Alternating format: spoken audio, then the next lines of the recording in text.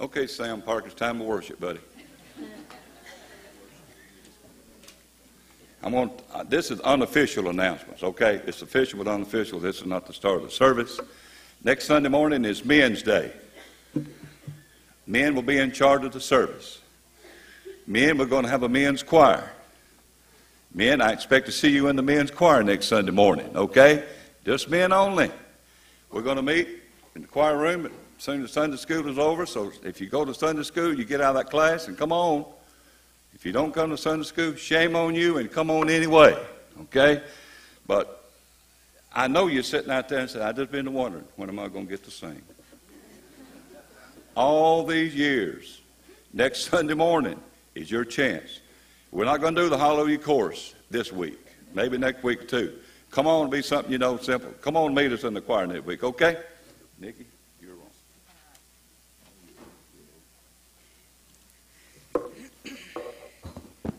Good morning out there. Anybody hear me? Uh, good morning. I know y'all can do better than that.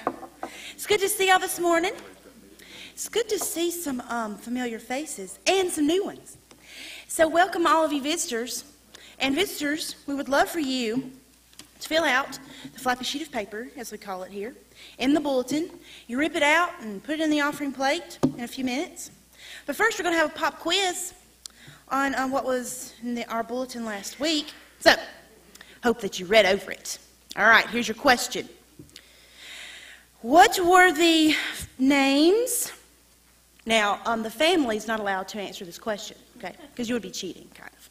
Um, Bunk and Nancy, they had some great granddaughters. What were their names? Twins. What were their names? Anybody read that? Madison's one. And Natalie, very good choir. Good job. All right, make sure to read those bulletins. Okay, open them up real quick. I'm going to highlight a few things. And there are some things that aren't in the bulletin, so listen up. Um, let me just do these here. Right after the service this morning, the worship committee will meet with Mike. Worship committee right after the service this morning. And then next Sunday morning, there is a new Sunday school class starting up, and it's for you young adults, married or single.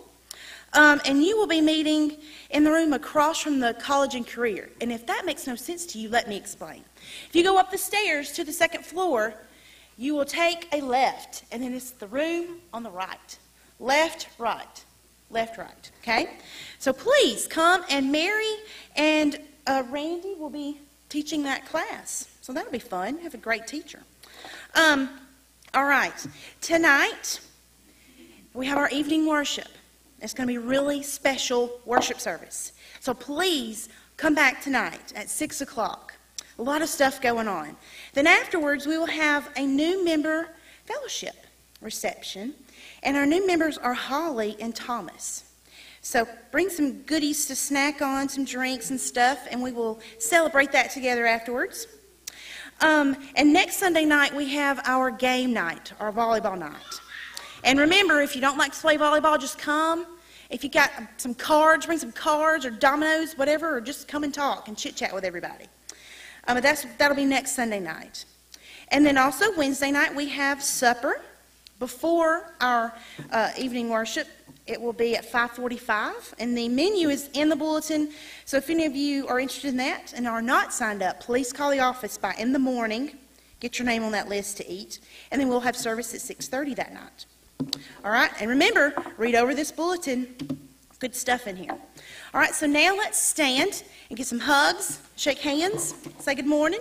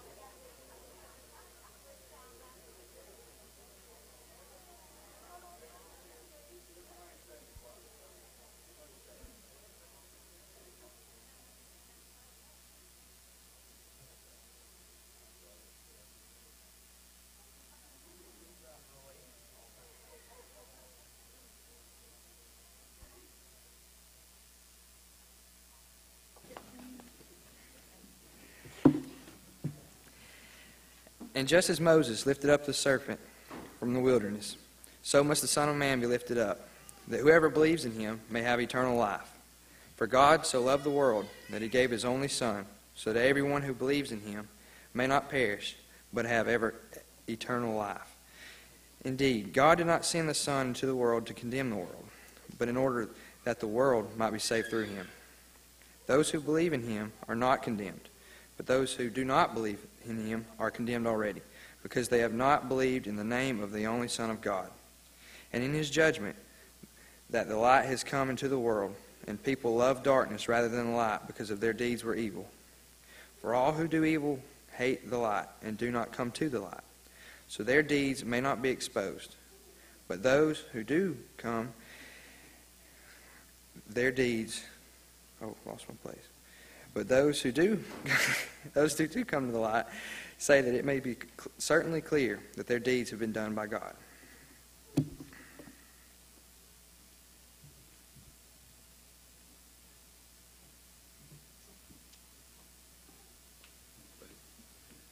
Well, good morning again. First hymn this morning, 299. Hymn number 299, Rescue the Perishing. I ask you to stand with us, please. First, second, last standing.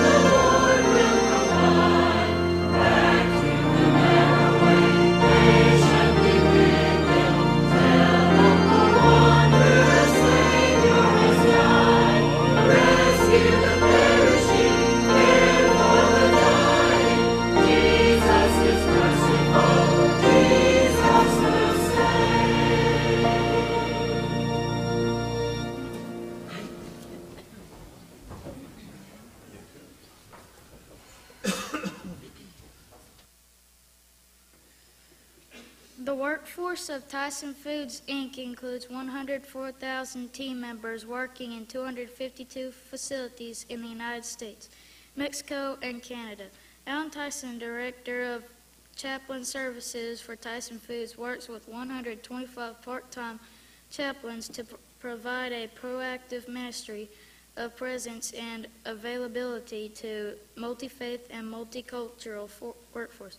Pray for Alan and the chaplaincy team as they provide pastoral care, counseling, and visitation. Pray also that they might bring hope and the good news of God's love and grace to the workplace. Please bow your heads for a moment of silent prayer.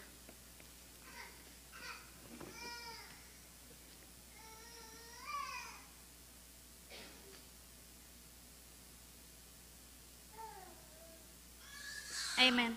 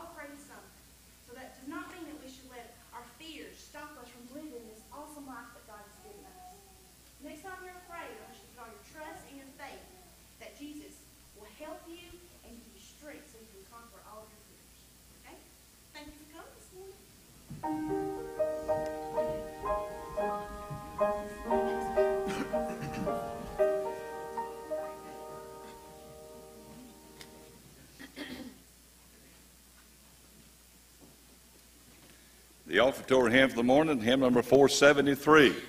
473, Victory in Jesus. We'll sing all three stanzas. You join with us, please, as we sing.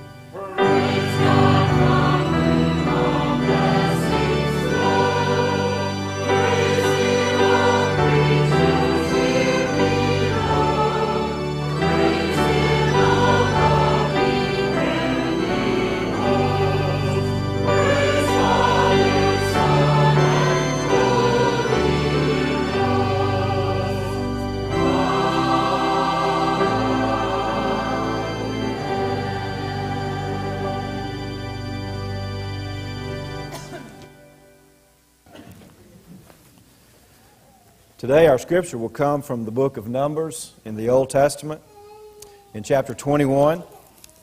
Before I turn there, I wanted to uh, say how glad I am that Wendell is back in the house in worship. Glad you're doing better. Good to see you. Glad to have you back, brother. And we continue to pray for you, complete your recovery. I know you still got some soreness, but we're happy that the doctors found what they needed to find and did what they needed to do. And the Lord was with you during that time.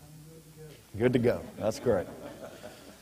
Uh, also, last night, one of our members was recognized. Pleasant Valley has a Hall of Fame sort of a community hall of fame, people who've contributed and helped out at the school over the years. And last night, uh, E.L. Green was given that honor. He's probably hiding somewhere back in the back. I think he is. We're very proud of E.L. Y'all tell him, pat him on the back when you go.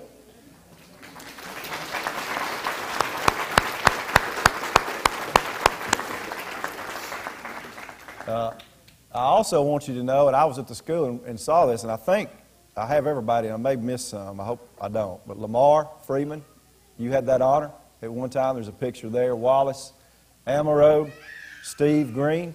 Is there anybody else? That's pretty good from our church. I think there's about eight, eight pictures up there of people the last seven or eight years. So I'm really proud of that. Please pat him on the back and those others I mentioned. And we appreciate so much all the work that you do. You were rightly honored by helping out our school and our community.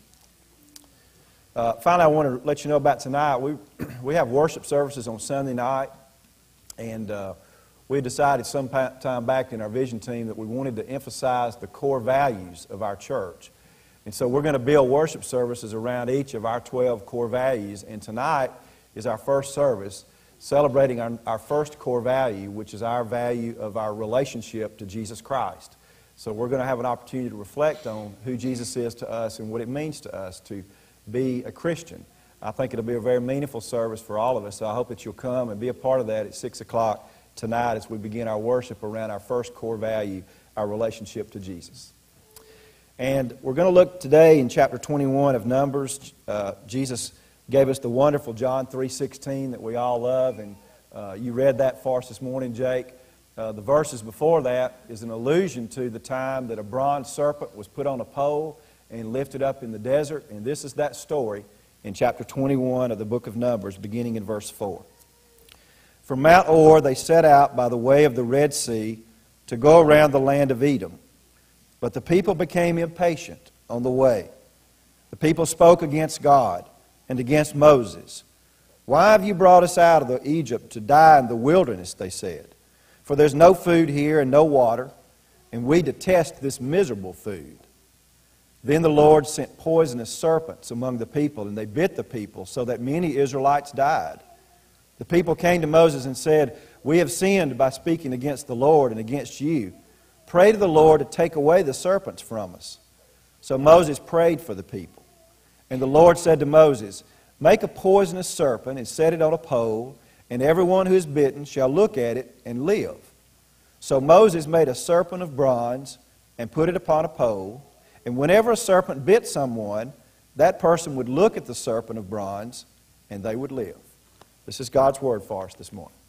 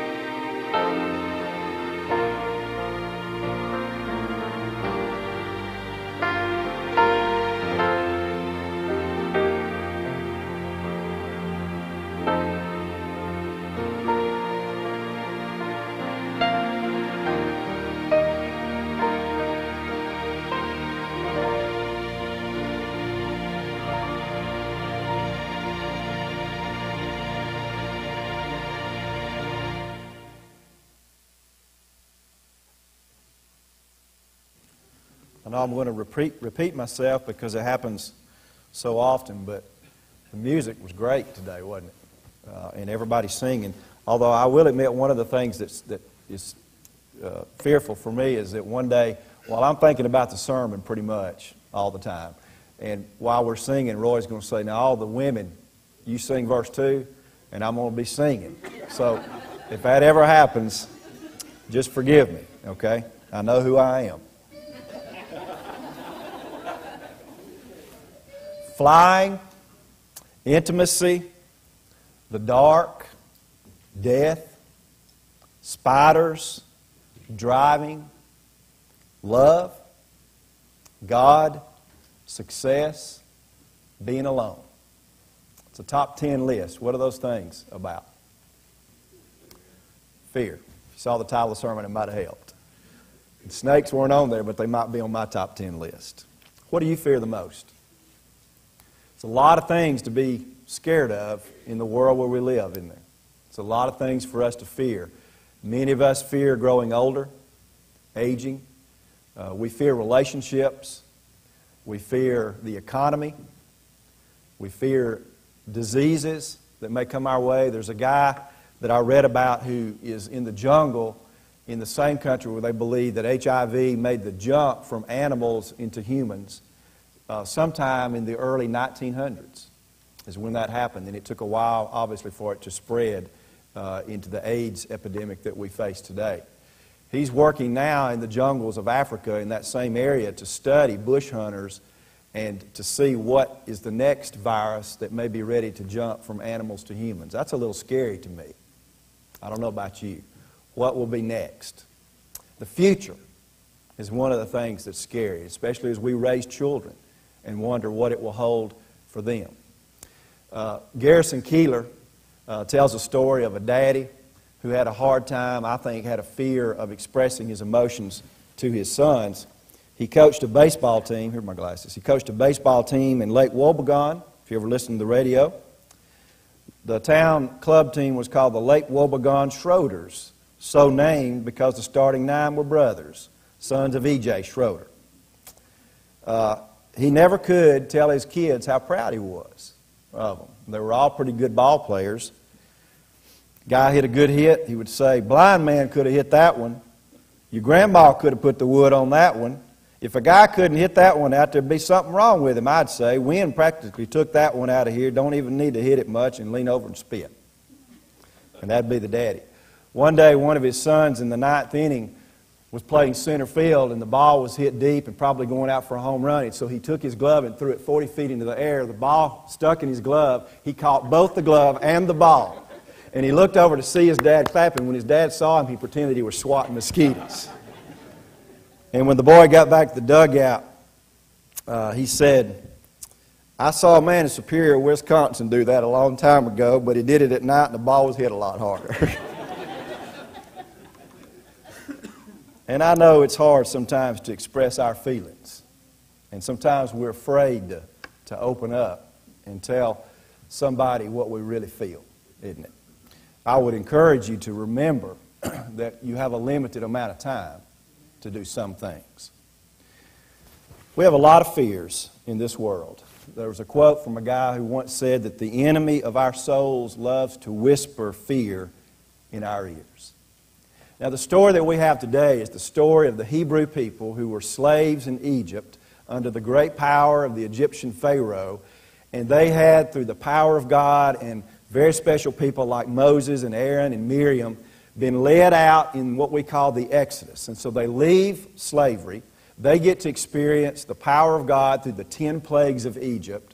And then they get to see the, the parting of the Red Sea and then they go out in the desert and they make a sort of a roundabout trip to a place they call the Promised Land. It's a very special place that they've been looking for and heard about all their lives. But through that, through that journey to get there, they complain. And they complain so much that God decides that they will have to spend 40 more years as punishment, 40 more years out in the desert wandering around until the complaining generation sort of passes on. Well, that begins to happen. And so now we flash forward to our time in the story that we've read today. These are the children of the complainers. And the children are once again led on the verge of going to that promised land, the land flowing with milk and honey that they've been dreaming about and thinking about all those years. And they begin to complain mightily against the Lord again. They complain about a lot of stuff. God in the desert knows that there's not a lot of food available, so He provides them with some special food called manna literally, what is it? That's probably like frosted flakes. So every morning you gather up all the frosted flakes you want, and that's what you get to eat. And they began to complain about that. And they said, you know, it tastes sweet, but we don't have any meat to go with it. And it sure would be nice to have a chicken in the pot every once in a while, wouldn't it? And then they just start complaining about the manna itself and say, it's no good. We don't like that. We wish we didn't even have any of that kind of stuff. And then some begin to experience the, uh, the feeling that, you know, my parents talked about the hope of the promised land, but what about those old tales? I mean, that's sort of old time religion, and I'm not sure that I need that old time religion. Is that really true today? Because we're probably smarter than our parents were. And some would even go around and say, Have you ever had a vision from God? Has God ever talked to you? Because God had never talked to me. So I'm sort of wondering, is this God stuff and they begin to complain and complain and complain. And so they also experience the judgment of God in a vicious way by poisonous snakes that begin to infest their encampment. They will find snakes in their beds. They will find snakes in the cribs where their children sleep. They will find snakes when they open up the cooking pot. They will find snakes everywhere. And almost everybody gets bitten by these poisonous snakes. That's not good. And so they, they go to Moses with hat in hand and tell God and tell Moses how sorry we are for complaining. We were wrong. We know that now, and we want you to go to God and tell him we were sorry and take these snakes away. And it's a strange tale of God instructing Moses to make a snake the symbol of their fear, the thing they fear the most, the poisonous snakes, to make that symbol something out of bronze and put it on a pole. And anybody who gets bitten by a snake, you still get bitten, but at least you can look at the snake on the pole and you won't die. Look up, he says. Anytime bad things happen to you like that, and the things that scare you the most happen to you, I want you to lift your head and look up, and it'll hurt some, but it'll also be okay. Look up. And so some do that. And that happens for them. A snake on a pole. It's a pretty strange story for the Bible, isn't it? The people loved that snake on the pole so much that they kept it with them for years and years. They kept it when they went into the promised land. They kept it when they uh, had Solomon build them the great temple of God. They kept it right near the ark. In fact, it wasn't until a, a boy king named Josiah wants to reform the worship and religion of his people that he says, You know, I've been noticing some folks are going and offering stuff to the snake on the pole. So they finally did away with the snake on the pole. Our medical industry uses the snake on the pole as a symbol of healing to this day. You've seen that. It comes from this story. Look up at the thing that scares you the most, that God has taken and sort of reworked, and even though you'll get hurt, and even though you're still going to have fears, it's going to be okay, and you'll live. And the folks who do choose to look up are saved. The folks who look up at some point in time will get to look up and see the Jordan River, which is the boundary between them and that promised land, part again for them. And they will get to walk over. The ones who looked up will walk over on a dry riverbed, and they will go into the land flowing with milk and honey. And they will begin to experience the blessing that God had for them. I think we can learn from this story of several things, but one, that's very important for all of us to know is that probably everybody will get bitten in this life.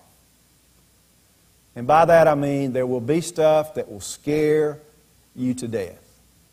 There will be fears that come your way no matter how brave you are or how protected you feel you are.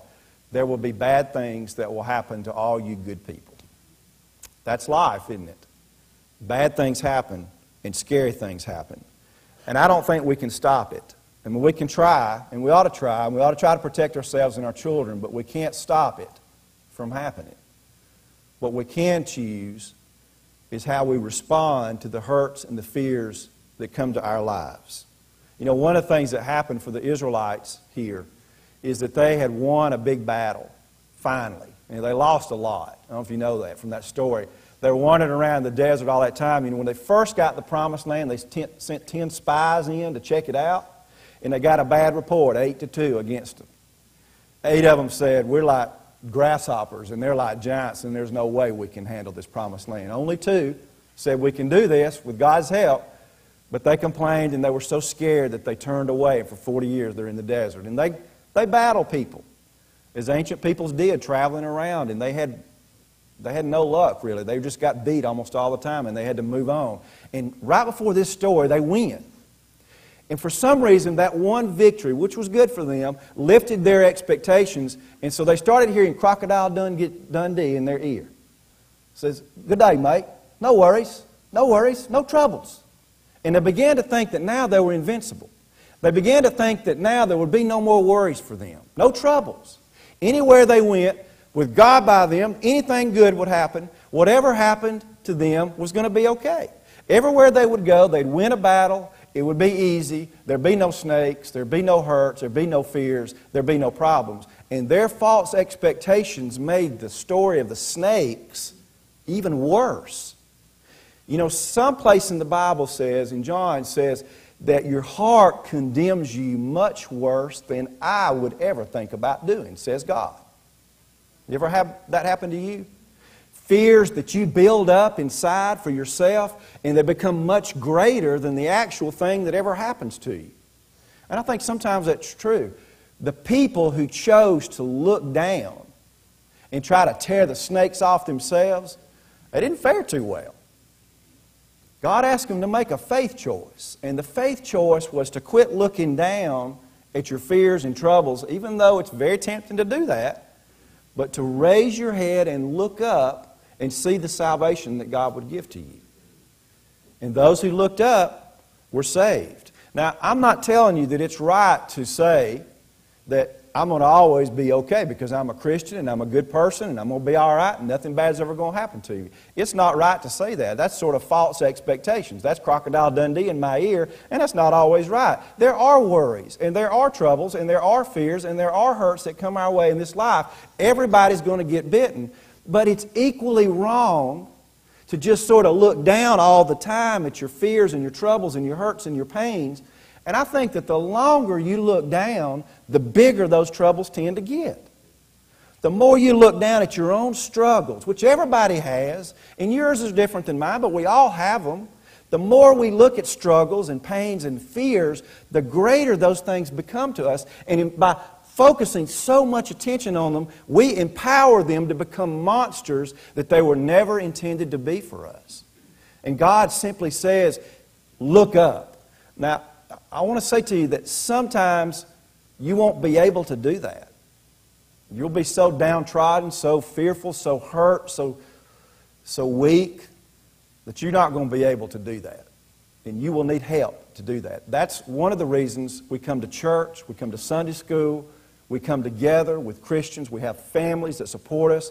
Sometimes somebody has got to lift my head up and allow me to look up because I don't have the strength or the energy or even the desire to look up anymore. Sometimes we need that support of good people, their faith that we borrow, their strength that we borrow, their encouragement that we borrow that allow us to see beyond what we're going through at the time. There's a story of a pilgrim who was walking along a lonely road one day and he met Jesus on the road. And of all the questions he asked him, he said, Jesus, you know, that story where you fed the thousands with a few fish and loaves, at the end of that story, I've always wondered, you said that they should go in there and collect, get baskets and collect up the leftovers, the fragments, you said, so that none would be lost. And so I've always wondered, what exactly is to be gathered up so that nothing would be lost. What is it that would be lost? And Jesus looked at this pilgrim for a long time and he said, The fragments are your fears.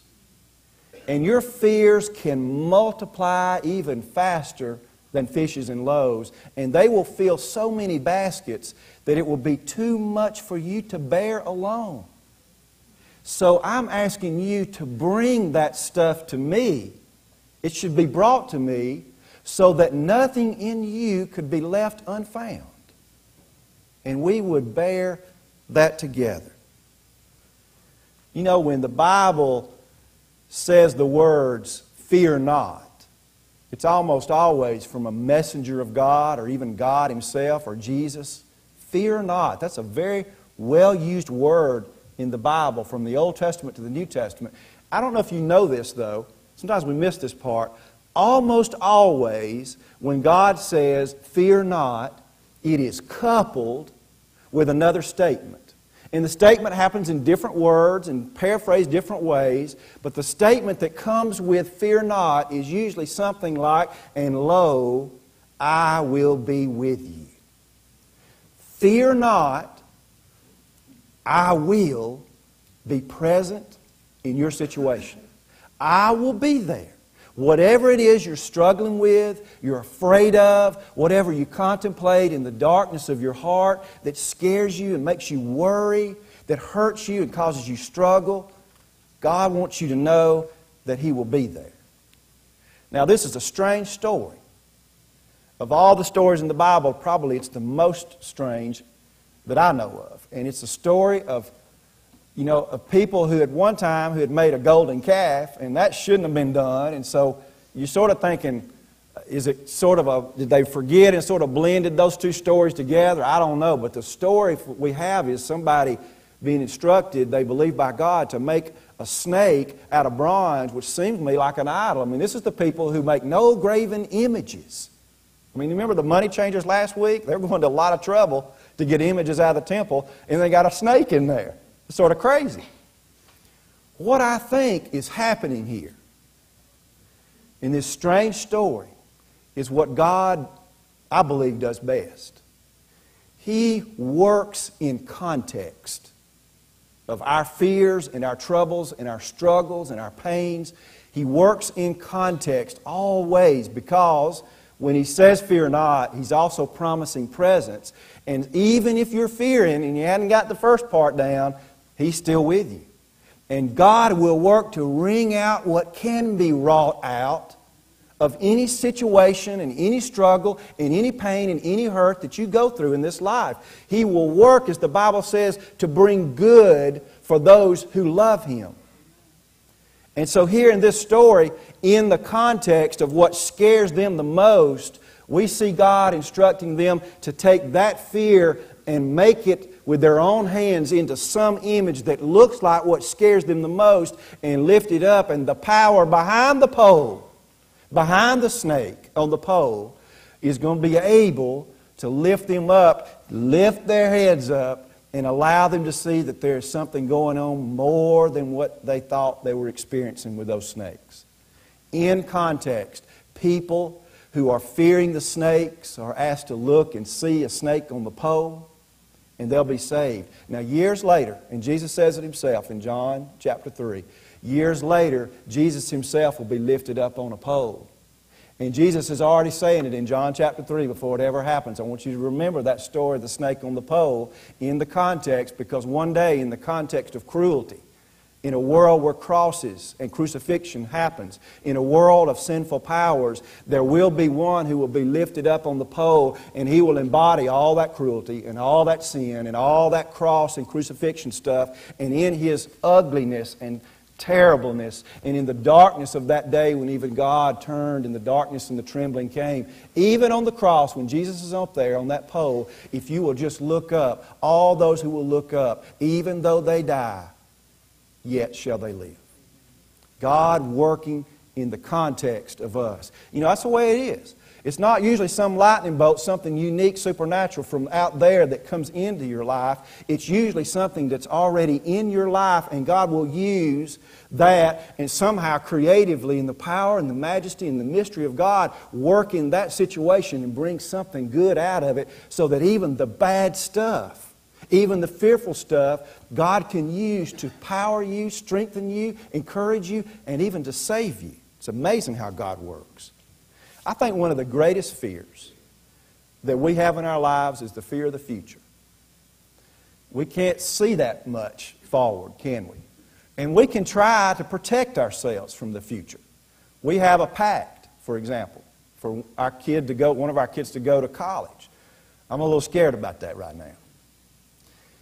Some of us have tried to protect our retirement by investing in certain things, and some of us have tried to protect our families by having insurance, and some of us have tried to protect ourselves from job reduction by doing whatever they tell us to do and doing the best job that we can with it, even though we shouldn't have to be working those hours or doing those kinds of things because we want to keep our jobs. Some of us are worried about the future of our country. Not only our economy, but the direction of our political spectrum. We're worried about the future of our military and the safety of our people. We worry about a lot of things, and there's a lot of things to be scared of. I think the future is one of them. And the best laid plans we have, no matter what we do, even our best efforts, can still be invaded by some jungle virus that jumped from a monkey to a bushman and spread throughout the whole world and even scares us today. And some of our best laid plans can be handled by the trustees of Bernie Madoff's in this world, and you put it there in good trust, thinking it would protect you in your future. Even that can happen to us. And I'm asking you, in the midst of the fear of the future, to do what the Bible has said all along, and that is to look up. And I'm going to ask you to look further, because you know we can't tell the future, but we can get some of it. Some of it. You can't get all of it. I don't think I can even get next week. But by the miracle of God's revealing something to us, because He loves us so much, He's given us some glimpse. And if you can look far enough ahead to the very end of all things, there's the face of God. And God is smiling, knowing, wonderful, majestic, welcoming, and ready. Because God knows the end of this whole story. And it's going to end so great for everybody. No matter what struggles we went through to get there, or fears that we had to face to get there, or pains that we experienced to get there, the end of that story is going to be marvelous for all of us. This is what Paul says about it God has made known the mystery of His will according to His good pleasures that He set forth in Christ as a plan for the fullness of time to gather up all things in Him, things in heaven and things on earth. That's a great bailout package to me. It's amazing grace what God has provided. Listen, today, I'm not going to fool you and say because you're a follower of Jesus, you won't get bitten. You probably will. Troubles will happen, fears will happen, and oftentimes you will need the support of good people to help lift your head to look up. But I am asking you to look up. I'm asking you to look up to Jesus. I'm asking you to look up with the Spirit's help to God. I'm asking you to look up and to trust Him and to believe Him and to know that in the fullness of God's time, all will be made well.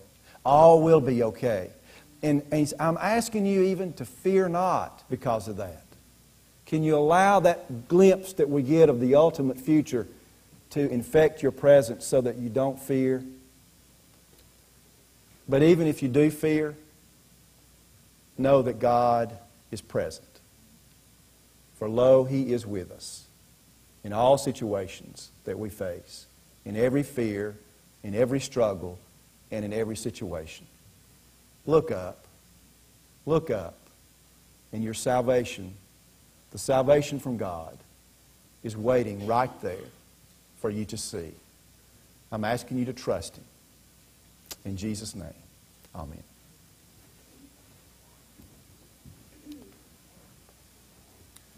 Have a moment for us to respond as an invitation. And today I'd like for you to think about the things that you fear. I'd like to think about like for you to think about where you're looking. I've invited you to look up, to see God, to trust Him, and to put your faith in Him with not just your salvation, but the salvation of the abundant life that He wants to give you every day. The salvation of knowing that whatever you face, He's with you. The salvation of knowing that He's there to work and bring good out of whatever you're facing. I'm asking you to try to see those things through the eyes of faith, to trust that He's with us and He's watching over us. And today, as you respond, you may want to talk to God about that. You may want to come forward and pray this morning because you've got fears in your heart, troubles, and things that bother you. and you need people to lift you up. And as you come and pray, you're praying to God. There'll be all these folks here who will see that, and they will be lifting you up as well. I invite you to do that if you want to. There are others who have decisions that they want to make. They're deciding maybe I want to finally join this church and be a part of what you're doing. Or I want to join Jesus. I want to be a Christian because I trust Him and I believe in Him. I'm going to ask you to do those things today. Make that courageous step this morning. Listen to what God has to say to you and look up as we stand and sing today. 463. 463. Precious Lord, take my hand.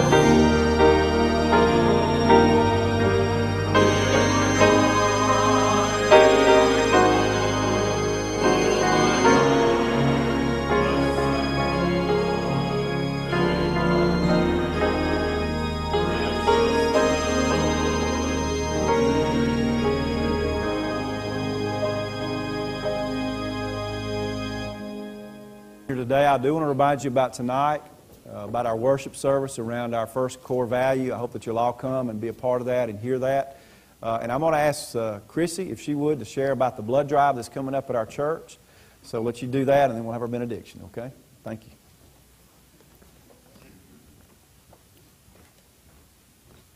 It's a good thing we're talking about fear today since we're having a blood drive coming up.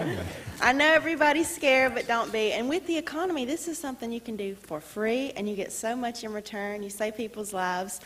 Um, you know, Megan Britton, she's had 38 units of blood and 15 units of platelets. And that right there, you have 8 to 10 pints in your body. So you know what? That's a lot of times that she could have had a lot worse. And bless her heart, she they've just had the rough time, and she's been so sick. But just to put it in perspective, 38 units of blood, and that's just amazing. And you know, you can help with that. Um, she's about to go and get some more treatments done, and she will have to have more. So just think about that. It's going to be April 2nd from 11 to 4, and we're looking for 22 units. And I know, look at all these people. We can get 22 units. I know we can, and it just takes a little bit of time and we really appreciate it and just know that it is going to a good cause. High schools are about to get out. That's 20% of the blood that we collect. So we're about to, you know, have a drought going into the summer season. That's when you'll see me outside Walmart with my please give blood sign. so please come out to the blood drive on April 2nd. And also in the bulletin, you saw about the marriage retreat. That is going to be very exciting, uh, May 1st and 2nd. So make sure you mark your calendars for that. We've, we've uh, met about that last week, and that's going to be something really great for our married couples to start up. Thanks. He got the whole world in his hands. He got the whole world in his hands. He got the whole world in his hands. He got the whole world in his hands. He got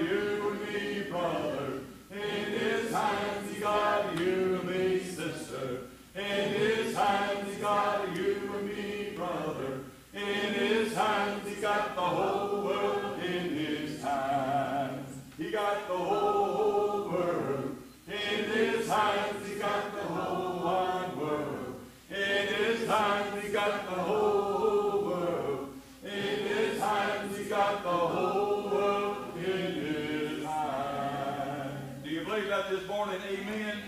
Amen. Thank you. Have a great day. See you back tonight.